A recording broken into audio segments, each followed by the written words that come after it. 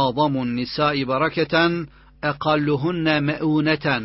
En bereketli eş, kadınların en bereketlisi az bir geçimlikle yetinendir. Elbisesi varmış. Alsak bir daha dediniz, istemem dedi. Maşallah, çok bereketli. Ekmek, su derdine hiç düştüğünü görmediniz. Maşallah, hep tok görünüyor. Karnı tok değilse de gözü tok. Ne kadar güzel. Peki ayakkabı dediniz, Hatta bir öncekini getirdi. Siz unutmuştunuz bile. O hala giyiyormuş. Sizin en son aldığınızı hiç kullanmamış. Ne gereği var dedi. Ne kadar güzel maşallah. Peki ya ev eşyası? Hepten aynı.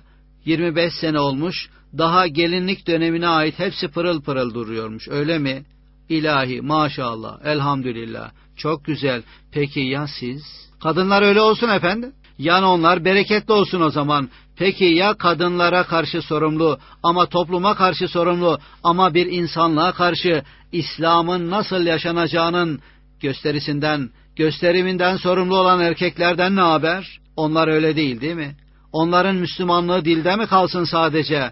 Gömlek değiştirdi ama kravat da değilsin. Ama piyasa o dönem o rengi sevmedi, yeni bir daha alsın. Elbise mi ama solmasın. Sonra fiyakalı olmak için değil ama yakışıklı olduğundan dolayı bir, ta bir tane daha alsın. Cebinde para mı? Yarıdan fazlasını kendisine harcasın. Yeme içme mi? Ama görüntüsü güzel olsun. Fakat lezzeti de güzel olsun. Ama tekrarı da güzel olsun. Yani az bir geçimlikle yetinmek kadınlara ait olsun. Erkekler bunu hepten unutsun öyle mi? Olsun.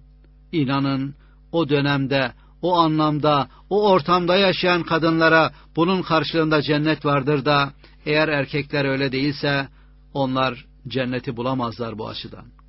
Öyleyse, kadınlar için söylenilen bu sözü erkekler de kendilerine anlasınlar. A'zamun nisai bereketen, ekalluhunne me'uneten, en bereketli eş, az bir geçimlikle yetinendir.''